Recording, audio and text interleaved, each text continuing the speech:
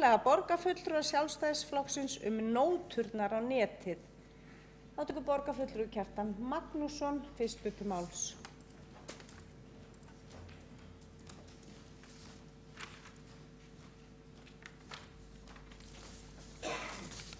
Forseti, góðir borgar fulltrúar, ég eh, flytt hér eftirfærandi tillögu fyrir höndu sjálfstæðarflokksins.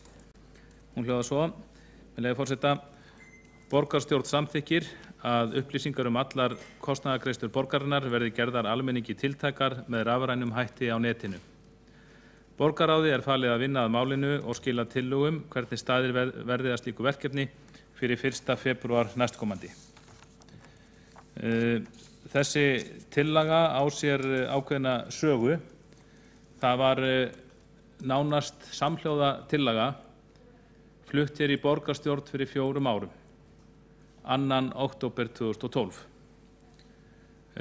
Hún hlaut, hún hlaut kynningu, henni var vel tekið og borgarstjórn samþykti einróma að vísa henni, já, tillaga var bara samþykti einróma og átti, átti síðan að koma til, til framkvæmda.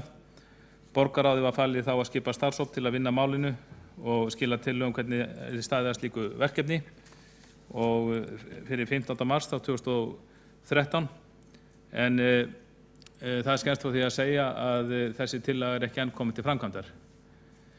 Tillagan hefur með ýmsum hætti hrakraufast um, um borgarkerfið í, í allan þennan tíma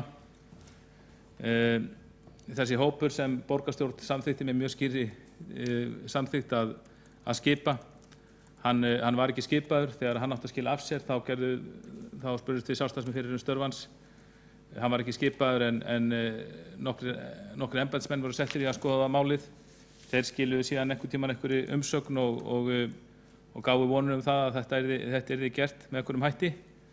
En, en það hefur ekkert gerst og eh, sem er slæmt því þetta er, þetta er mjög gott mál og, eh, og ef að þessari tillögu hefði verið framfyllt þá hefði það brotið í bladi í stjórnsýslu á, á Íslandi. Þá hefði Reykjavíkur borg verið fyrsta stjórnvaldi til þess að, til þess að eh, standa málum með þeim hætti.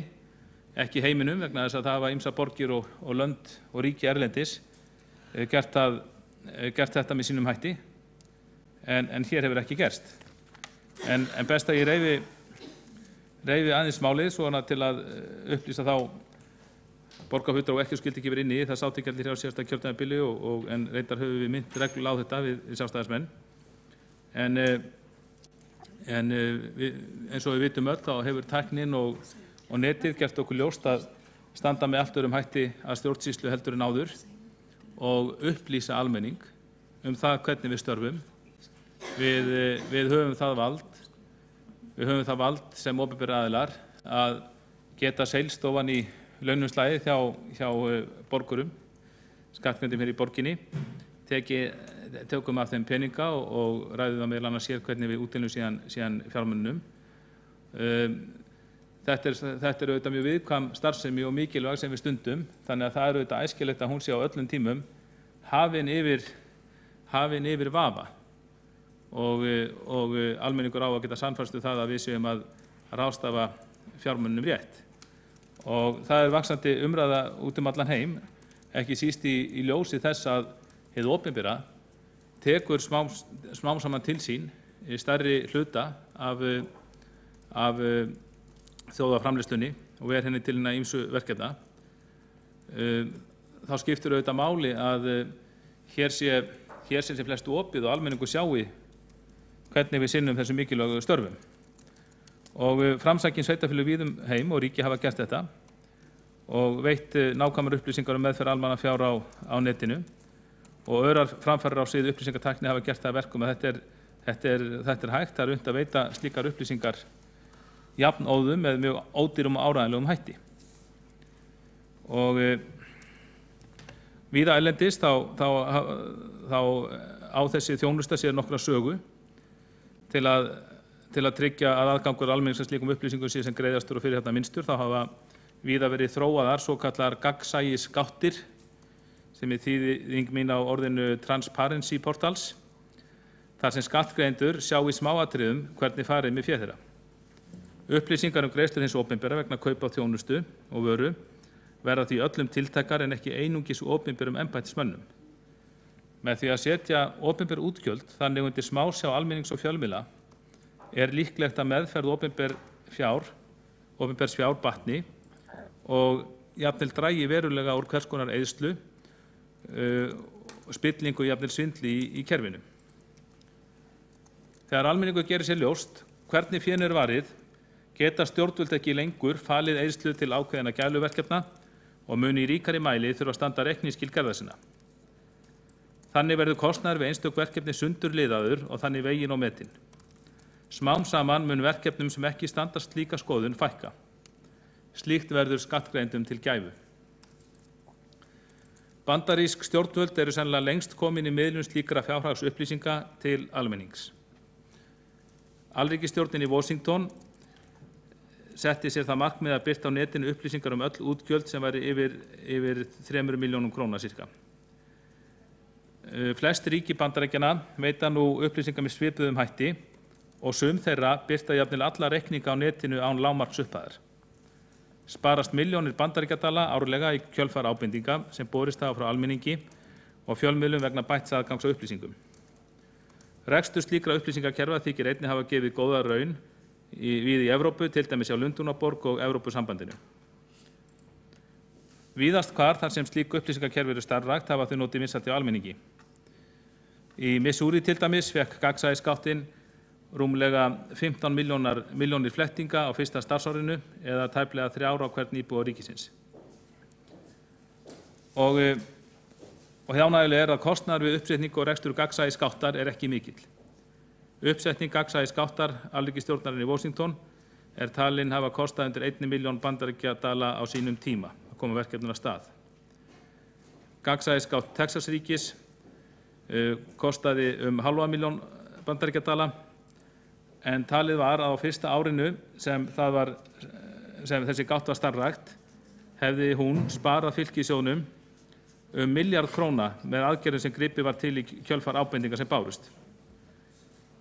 Og í, í fylgjum eins og Nebraska og Oklahoma þá, þá kostaði uppsetning gáttarinnar bara í kringum 10-30.000 dólar eða 1-3 miljónir íslenska króna. Þannig að við sjáum að víða um heim þá hefur þetta verið gert með tölvert ódýrum hætti og, eh, og eh, hins vegar ekki hér. Við sjálfstæðismenn höfum oft mynd á þetta en, en fengið þau svör að það sé verið að vinna í málinu, þetta sé, þetta sé, þetta sé tæknilega, það sé einhverju tæknilegi vankantar svo framvegis. En ég vil bara segja eins og er að eh, ég, ég sé engar, já er eftir með að trúa því að það séu tæknilegar ástæði fyrir þessu nema að það sé eitthvað takni hjá meiri hlutanum að vilja ekki að almenningur komist í þessar upplýsingar. Og hvað á maður að halda þegar að tillaga sem þessi, jafn sjálfsög tillaga, er orðin fjögura ára gömul. Ef henni hefði verið framfyllt almennilega þá var ég búið að koma sér frangan, það er ekki spurning, fjögura ára gömul og, og án þess að nokkuð hefði gerst, að minnst kosti ekki búið að opna gagsæði skáttina. Nú, Á þeim tíma sem tillagan var flutt þá var hún svo sannarlega framsækin á Íslandi. Þá var engin aðili komin af stað með stíkt verkefni. En uh, nú hefur, við vitum það hins vegar að ríkið vinnur, vinnur að þessu verkefni og það búið að gefa upp sko, með hvað hætti er unnið að því. Og, uh, og uh, nú í síðasta mánuði þá tilkynnti Kópavóður að hann hefði opnað sitt bókald og og þar er að finna upplýsingar um færslur ársins 2014, 2015 og fyrstu sex mánuði ársins 2016. Og e, Kópavóðsbær segir í fréttatilkynningu að hans er fyrsti ofinbyrja aðilin á Íslandi sem opna bókald sitt með þessum, þessum hætti og markar viðburðurinn tímamóti stjórnsýsla á Íslandi.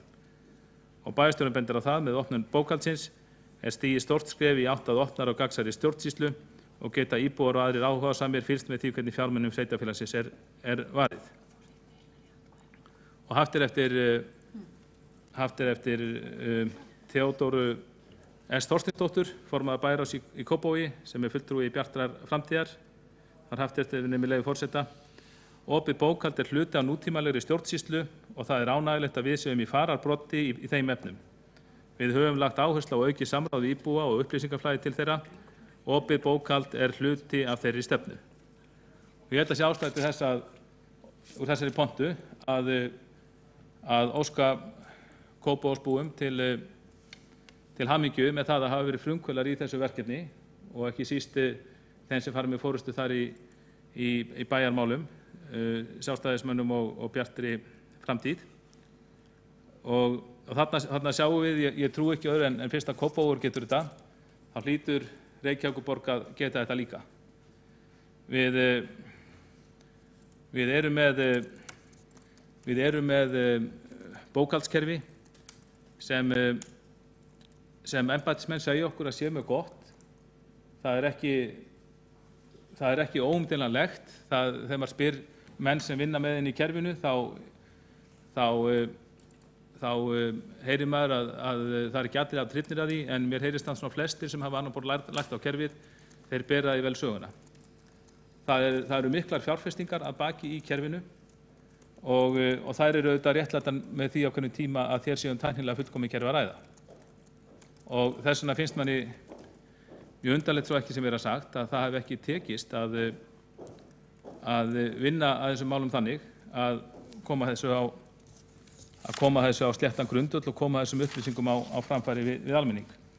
Ég ætla, að, ég ætla ekki að fara yfir það í smáatriðum um, hvernig hvernig við sjálfstæðismenn höfum margóft á þessum fjórum árum tekið þetta mál upp bæði hér og í borgaráði til þess að minna meiri hlutan á það og minna meiri hlutan á það og hvernig að koma sér framkvæmt. Það, það hefur við oft gert bara með, með, með góðum kvartningar orðum en það hefur ekki dugað til og svo auðvitað þegar maður, þegar maður horfir á það hvernig uh, þegar hvernig þessi rauninni stendur að ýmsum öðrum upplýsingamálum, þá veltir maður fyrir sér hvort að bara meirihlutin, hann ætli að reyna eins og með sumarara tillögu sástaflokksins, en minnhlutans, að býða þar af sér, uh, tefja málið, vona það gleymist, til þess að þurfi ekki að byrta þetta. Auðvitað vitum við það að það þarf alltaf að forgangsað í borgarkerfinu.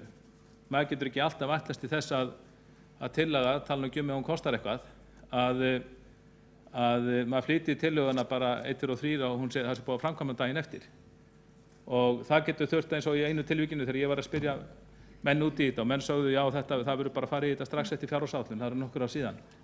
Það er bara það svo mikið að gera í fjárhásállunni og nú skilst mér að fjárhásállun að vinna standi mér að minna allt árið. Þannig að það er sjálfsveir, ef maður þarf að fresta ykkur fram með fjárhásállun þá getur maður nota þá afsökun held ég lungan úr árinu. En e, þetta eru auðvitað ekki tvindikóðar hálsar Um, auðvitað þarf að forgangsa það og maður getur skilið að þetta hefði tafist eitthvað tíma og við, og við síndum því mjög mikið skilning á síðasta kjörnæðabili, við síndum því mjög mikið skilning þarna í mars 2013 þegar að komið í ljós að máli voru sex mánuða gammalt og það hefði ekkert verið unni í því. En, en þegar, að, þegar að líður ár eftir ár án þess að þetta komist í framkvæmdar þá sjáum við auðvitað að það er eitthvað já meir hlutin er að minnstakost ekki að forgangsa það í þessa þáu og hér er ekki, hér er ekki um að ræða einhverja eðslu tillögu sem eðslu tillögu þar sem, þar sem, þar sem peningum er varpað í einhverja hít og þeir skilir sér ekki aftur.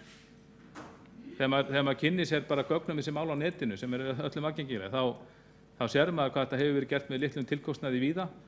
Ég held að þetta hef ekki verið gert með, ég held að þetta hef ekki kostað mjög mikið í, í Kópavogi og menn eru almennt á því að þessir, þessir peningar þeir skilir sér tilbaka. Þegar þetta verður gagsari hjá okkur þá, þá auðveldar aðgangur, það er minnst reynsla annara borga í heiminum, þá, þá, koma, þá fara að streyma að ábendingar, betur sjá augu en auga og allt það. Og eins og ég rætti þér á það, þá koma fram ábendingar sem eru síðan til, til spartnaðar og, og harðaðingar. Þannig að ég, þannig að við, við, við sjáum okkur þann kost við sjáum þann eina kost í stöðunni að, að endurflytja tillöguna endurflytja tillöguna í þeirri vona að hún verði þá að, að komist til framkvæmdar og það er enn einu sinni eru gefin rúm tímamörk, það er hérna eftir fjögur ár þá þá leggjum við til að borgarráð verið falið að vinna málunni og skili tillögum fyrir 1. 1. februar. Vonandi getur borgarstjóri komið hérna upp í beinum framhaldi og, og hann, hann er nú verkstjóri yfir þessu verkefni eins og fleirum. Vonandi getur hann komið hér upp og sagt okkur bara að, að þessi tillaga sé óþörf vegna þess að það sé nú, það sé nú þegar verið að vinna það vel að, henni, að gömlu tillögunni að hún komist til framkvæmdar bara fyrir jóli eða eitthvað slíkt. En, eh, en ég myndi vel að fá eitthvað slík svör. Minnstakosti ef það er ekki svari hvað, hvað þetta stendur. En e, þetta, þetta tengist auðvitað öðrum upplýsingum í, í borgarkerfinu. E, við höfum talað um það hér áður að, að fyrirspurnum eða þar eru frá minni hlutanum þá er þeim, það líður oft langu tími þannig að þeim er, þeim er svarað. E, við rættum hér á, á síðasta, næst síðasta fundi þá, þá var tekið hér dæmi um tillögu en fyrirspurnum ferðarkostnað sem fyrirspurnum ferðarkostnað sem hafði sem framsóknarmenn og flugvallavinnir höfðu lagt fram í janúar og e, það var verið að svara henni held ég 29. september eitthvað slíkt og e, það, það hljóta allir að sjá það að þetta er ekki vinnublöð. Við tókum aðeins smá umræðum það og það er bara ótrúlegt. Ég, ég skrifaði nú hjá mér svona helstu svör og e, þá fórum menn að tala um að það væri það var að tala um aggresso, taknileg útvarsla í aggresso, þetta er erfitt, það væri taknilegar ástæði fyrir þessu, það væri þrautið þingra að kalla þessar upplýsingar fram tæknilegri örðuleikar og, og bara ágæti borgarfyllur og þetta eru, þetta eru ekki svör sem eru, sem eru verjandi. Þarna var bara, þarna var einhver einföld fyrirspurnum um ferða, ferðarkostnað og það reyði bara upp fyrir mér að ég var, ég var starfandi hér á síðustu öld. Þá var ég starfandi hjá, hjá fyrirtæki hér í borg sem, með þess að stór fyrirtæki á íslenskan mælikvarða og e, það var ein, einu sinni var svo komið að að það barst tilkynning frá okkur hjá bókaldinu að, að ferða að ferðabudget fyrirtækisins það væri, það væri nánast búið að klára það þó að, fyrir, þó að árið væri bara hálnað og þetta kom öllum í opna skjöldu, kom öllum mjög óvart og ekki síst yfirmunnum og í beinu framaldi þá baði yfirmaðurinn bara hann, hann sagði hann að þetta kemur sér óvart hann átti að sekja á því að það hefur verið svo mikið um ferðalög. Og þá baða bara bókaldaran um að prenta út fyrir sig prenta út fyrir sig lista yfir, yfir ferðupplýsingar hvað, hvað hver starfsmæður hefði ferðast og þennan, þennan lista fekk hann bara á morgunfundinum daginn eftir. Og þetta var, þetta var sko fyrir aldamót þetta var 97-8 og þetta var hægt þá þá hlýtur þetta að vera hægt núna eitthvað kringu 20 árum síðar. En ef þetta er ekki hægt ef að þessar, ef að þessar skýringar afsakanir eru réttir hjá borgarstjóru og formanni borgara sem þetta sé svo erfitt þessu tæknir örðuleikur og svona þá er ég svolítið hrættur um það að við þurfum að taka bókaldsmálinn hjá okkur í gegn og, og ég nefndi það, það, má, það máli nefnda fleiri það máli nefnda fleiri dæmi um þetta um svona ákveðna upplýsingartregðu til okkar kjörina fulltrúa sem viljum auðvitað taka starf okkar aflega og fylgjast með þessu. Þannig ef að ef að, ef að það er svo að það sé ekki að kalla fram ein, einfaldar upplýsingar á, á stuttum tíma heldur þurfi það að taka eitthvað nýju mánuði. Ef það er svo að það sé ekki hægt að fara í þetta verkefni nótundar og neti vegna tæknibúnaðar borgarna leiði það ekki þá vissulega held ég að við þurfum að taka okkar tæknibúnað í gegn. En hins vegar held ég að þetta sé alveg hægt. Ég held að þetta sé bara spurning um pólitíska vilja og sem hefur ekki verið til staðar allavega í fjögur ár frá þessi til að vera samþygt hjá, hjá síðasta og núverandi meirhluta Þá er borgarfulltrúi Kjartan Magnússon lókið máli sínu og þá er borgarfulltrúi Haldur Auðar Svansson næstur og síðastur á mælitaskránu.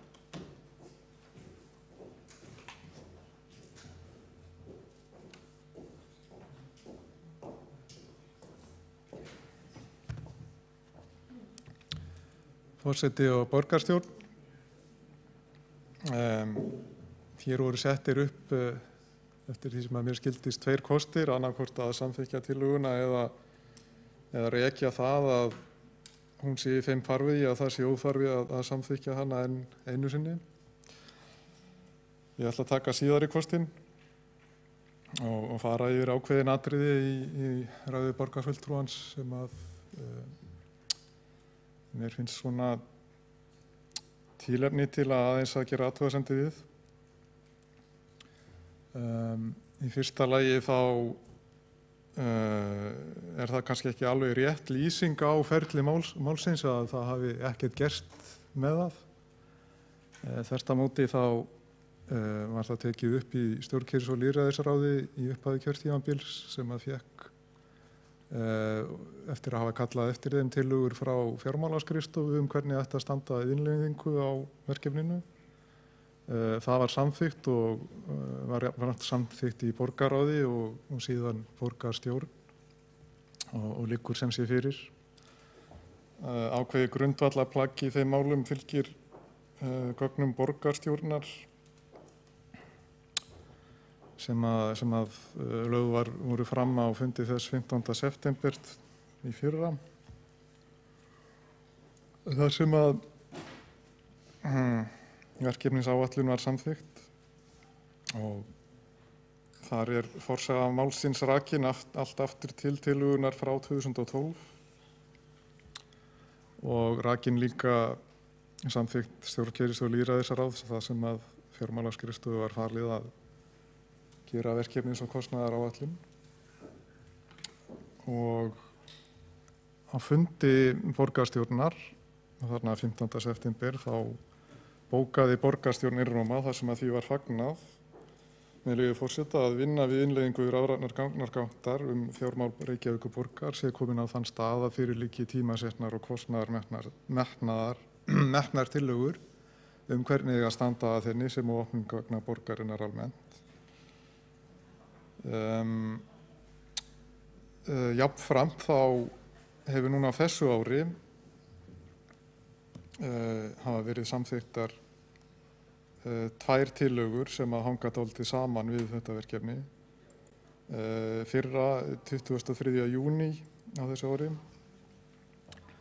þar sem var samþykt til að frá stjórnkýrs og lýraðirsráði um að stopna rafræna fjónustu miðstöð uh, sem að er eining sem að verður hýst undir skristuðu þjónustu og reksturs uh, sem að er meðal annars, með leiði fórseta, falið að stuðla á opnun rafrænar gagnagáttar um fjármál borgarinnar undanum hald og eftirfylgni með opnun, opnun annara ópersonungreinanlegra gagna og byrtingu fundargerða og fylgigarna ráðanemnda og borgarinnar í samræmið upplýsingu stefnu Reykjavíku borgar og aðra samþykta stefnumörkunum við fangsefnin. Þarna er að sjálfsögðu vísað í upplýsingastefnuna sem samþykt var á eh, var í fyrra sem kveður líka á um opnun gagna. Eh, gengur er í raun frekar langt með það og eh, það er í raun kveðið á um að byrta skuli allar upplýsingar sem að ekki eru persónu greinanlegar og, og þar eru fjármála upplýsingar settar í forgang. Uh, Borgarsvöldtrúin Hekki Kjartan Magnússon var auðvitað með mér í stýrihófnum sem var þessa stefnu og ég, hann, auðvitað, hann, hann man eftir þessu og okkar vinna hafi verið góð. Og þessu hefur verið haldið til að haga hér áður þannig að ég sakna þess aldrei að, að því sé ekki handið til haga í, í ræðu það, hans uh, í þetta skiptið. Uh, já, síðari tilagan í borgaráði varðar stóra fjárfestingu í innleiðingu á hugbúnaði um stjórnendaupplýsingar og þar var skipaður starfshópur um innleiðingu og honum er, er líka falið að innleiða þessa rafræna gagnagátt um fjárhaldsupplýsingar. Þannig að það er, ímisleg vinna í gangi sem að hefur verið samþygt meðal annars hér í borgarstjórn og verið lögð fram og felur í sér fjárfestingar og skýra forgansröðun. Um, en það að reykja þetta kannski er nú aftur, uh, held, ég hef nú svo sem alveg skilning á því að það eitt og sér segir ekki mikið svo lengi sem að uh, það sem um með ræðir er ekki enn komið til framkvæmda. Og ég er auðvitað jafn ófregi fullur eftir því og hver annar. En Uh, tilefni núna er, er vantarlega eins og borgarfulltrúin kom inn á um, framtak Kópavósbæjar uh, þar sem að þau séðast hafa verið fyrst til þess að opna bókald uh, bæjarins sem að ég vil meina sé nú ekki alveg alls kostar rétt. Þeirra framsetning er að mörgu leiti svipu því sem að Reykjavíkuborg býður upp á nú þegar Eh, Það má finna það á reykjavík.is eh, eh, fjármála bandstreiku upplýsingar og undir eh, myndræni framsetningu á fjárhagsáallin 2016. Eh, Þar eru þrjár súlur, það er fjárhagsáallunin fyrir þetta ár og svo samanburður við 2015 og 2014. Eh, Það er kannski ekki myndrænt, já, flott og hjá Kópavóðsbæ og Kópavóðsbær fer að vísu dýbra. Eh, Hjá, hjá borginni þá endar þetta á uh, starfstöðinni en, en Kópavóðsbær fer allarleið niður í færslur einstakra byrkja en fer hins vegar ekki, allavega ekki enn sem komið er niður í hverja og eina færslu sem er náttúrulega það sem að uh, þessi tillaga sem er hér uh, flutt enn og aftur gengur út á. En, en svo sem að er endanlegt markmið okkar og gerir ráð fyrir líka hjá Kópavóðsbæ. En uh, svo er uh, saman ber það sem að er verið að vinna í hjá fjármálaskristofu við innleiðingu uh, hugbúnaður fyrir stjórnenda upplýsinga fyrirhuga að uh, bjóða upp á mjög sambarilegar myndræna greiningar og Kópavóðsbær býr núna upp á það sem að verður mér farið ennþá lengra. Og svo í þessu samhengi þá hef ég náttúrulega alltaf svona persónulega og ég held að það hafi verið svolítið samíðilegu skilningur borgarfulltrú að, að raunverulega opinn gögn fela í sér byrtingu rágagna og sem að hefur verið uh, svona hliðarmarkmið líka ofan á þessa, þessa flottu mynd, myndrænu samsetningu að uh, það séu til staðar líka rágögn sem að aðrir geta nálgast og unnið úr og, og sett fram með sínum eigin hætti. Eh, Þannig að það er réttast að halda þessu til haga og, og hvetja fólk einfallega til þess að rifja þetta upp. Af því að ég gerir nú ráð fyrir að allavega þeir sem að voru hér á síðasta kyrstjómabili hafi tekið eftir þessu, þessu þá þegar þetta var sett upp í samstarfi við datamarkett. Uh, nokkuð, nokkuð ítarlegu niðurbroti á uh, hvernig útgjöld borgarinn að skiptast.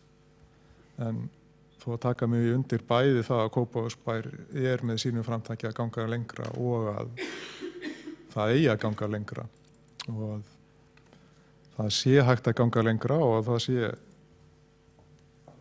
algjörlega orðið tímabært og vonandi alveg fyrir síðan með uh, þessum auknu áherslum bæði með, með stýrihópi og sérstökum verkefnastjóra um innleðingu notanda hugbúnaðarins og, og þessu, þessari nýju rafrænu þjónustumiðstöð að það er ekki að vera neitt til, þessu til fyrirstöðu og erfitt, erfitt að hafa uppi afsakanir um að önnur verkefni séu að tefja þetta. Um, þannig að sem sé ég ætla að að leggja fram þá málsmeð þeirra tillögu að, að þessu verði sennilega vísað frá í ljósi þess að þetta hefur áður verið samþygt og að fyrir líki nú þegar mjög ítarlega tillögur um hvernig standa í að verkefninu sem að hafa verið rættar og samþyktar á þessum vettvangi meðal annars og uh, ætla að lesa upp uh, bókun uh, í nafni meiri hlutans svo hljóðandi. Samhljóða tillaga hefur verið lögð fram tvisar áður á fundi borgarstjórnar, fyrst 2. oktober 2012 og var hún þá samþygt einrúma. Síðan 16. september 2014 þar sem henni var vísað frá þar sem hún hafði áður verið lögð fram og samþygt. Tillögur um hvernig staði verið að málinu hafa einnig verið lagar fram og samþyktar í stjórnkýfis og líðræðirsráði, borgaráði og borgarstjórn. Á fundi borgaráðs þann 23. júni í síðastliðinu var til dæmis samþygt að stopna rafræna þjónustumiðstöð sem meðal annars er falið að stuðla á opnun rafrænar gagnagáttar um fjármál borgarinnar og utanumhald og eftirfylgni með opnun annara ópersónugreinanlegra gagna. Einni var samþygt á fundi borgaráðs þann 25. ágúst síðastliðin að skipa starfshópi minnleðingu hugbúnaðar fyrir stjórnenda upplýsingar sem mun jafnframt hafa umsjón með innleðingu rafrænar gagnagáttar um fjármál. Frá fjármálaskriftofu líkja fyrir skýr, skýrar tillögur um hvernig staðið verið að verkefninu. Engin ástæð er til annars en að vísa tillögunni frá í annað sinn þar sem hún bætir engu við það sem áður hefur verið samþygt í málinu og á að vera borgarfulltrúum fullkunnugt. Hafi borgarfulltrúar eitthvað við ferli áður samþýttra mála aðtúa er það undarleg leið til að fylgja þeim eftir að leggja þau fram ítrekkað í borgarstjórn. Takk fyrir. Þá er borgarfulltrú Haldur Auðar Svansson lokið máli sínu og þá er einn borgarfulltrú óskast til því að veita ansvar við ræðu borgarfulltrú hans og það er borgarfulltrú Haldur Haldursson. Fórseti góði borgarfulltrúar, eh, við höfum haft þessa myndrænu framsetningu ársæknings hjá Reykjavíkuborg að undanförnum árum einhverjum, tveimur, þreimur allavega, kannski lengur, ég þekki það ekki, á 2011. En ef maður ber þetta saman, því ég hef nú verið að því, að þá, að, því að borgarfulltrú Haldur Öðar Svansson vildi meina að þetta væri ekkert einstakt eða sérstakt hjá Kópavóðsbæði, þá er tölvöld mikill munum þarna á. Maður getur farið miklu, miklu neðar í gögnin hjá Kópavóðsbæ pluss að það er verið að byrta samtíma gögn hjá Kópavóðsbæ nánast og verður byrt það er bara stutt í það að það verði algjör samtíma gögn og við komum sex mánu uppgjör fyrir þetta ár ekki bara í myndrætni framsetningu heldur getur maður alveg farið alveg aftur og skoða sko einstaka byrkja þannig að það er auðvitað uh, mjög langt gengi hjá Kópavóðsbæ uh, með því Þannig að, að bara tæknilega séð virðist, virðast þeim hafa tekist það á bara á stuttum tíma sem hér er búið að vera böglast með í ansi mörg ári eins og borgarfullur og Kjartan Magnússon var að benda á í sinni ræðu áðan. Þá er borgarfulltrú Haldur Haldursson lokið við það að veita ansvar, þá svarar ansvari borgarfulltrú Haldur Auðar Svansson.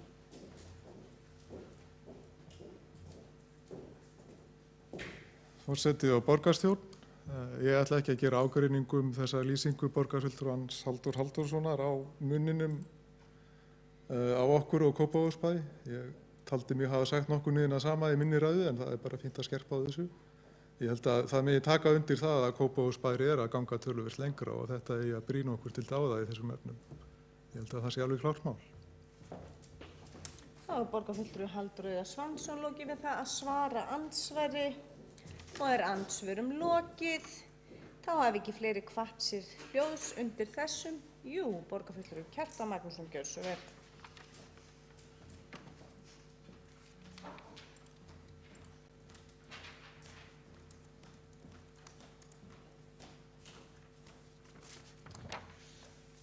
Forseti, góðir eh, borgar fulltrúar.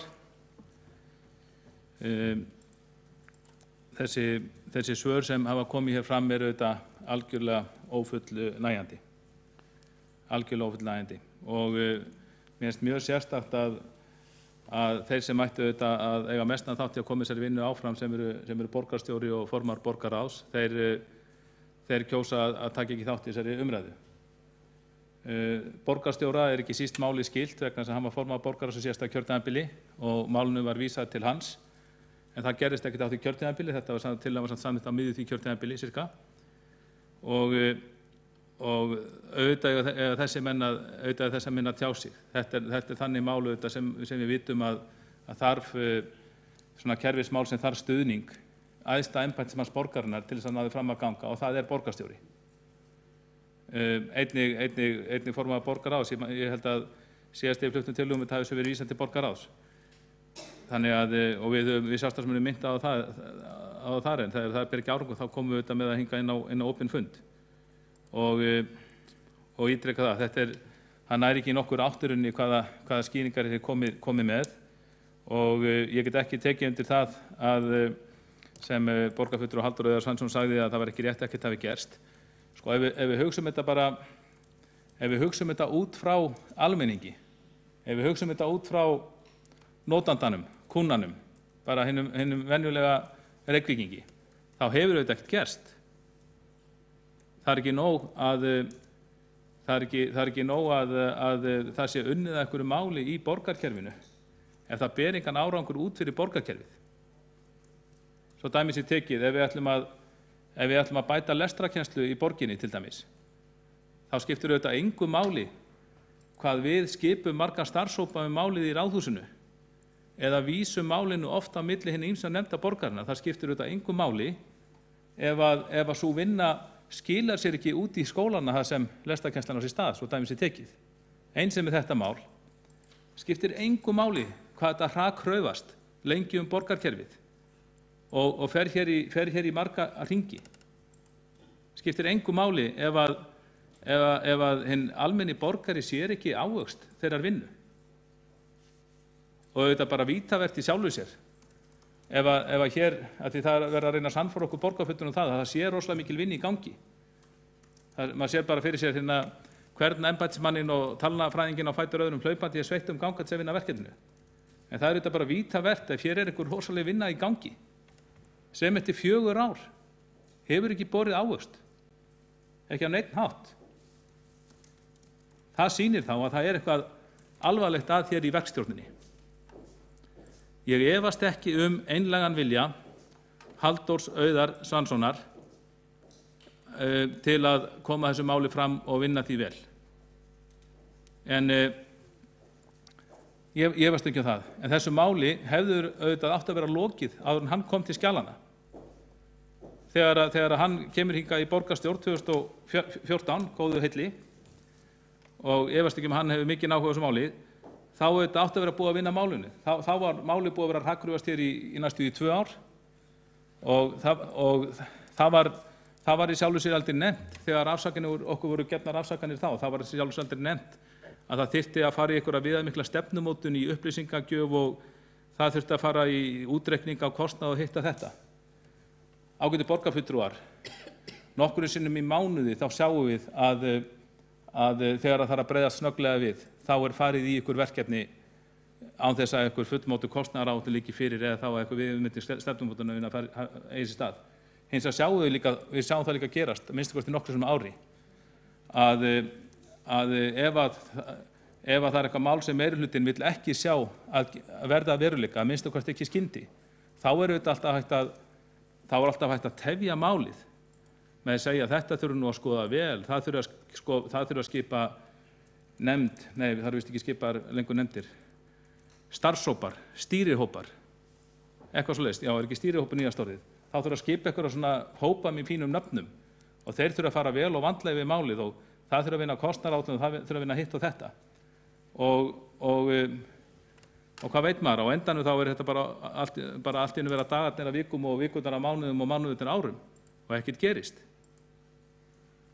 Ég, eh, og eh, ég held að, eh, ég held að Halldór Eða Svansson borgarfulltrúi hafi sjálfur sér skilað mjög góðu starfi hérna á kjörtæðanbílinu en hann, hann er hins vegar kannski ekki þaul, hann, hann, hann er, er nýgræðingur í þenn skilningi hættir hans fyrsta kjörtæðanbíl, hann er kannski ekki þaul vanur að, að koma málum áfram hér í kerfinu og, og ég veist ekki um vilja hans en ef hann, ef hann hefur ekki stuðning æðsta embættismannsins, borgarstjónas og formansborgaráðs og þessara manna sem náttúrulega eru hér kannski reka hér kerfið áfram frá degi til dags þá, uh, þá er þetta ekki vonað að, að þessi, þetta verkefni verða veruleika því miður.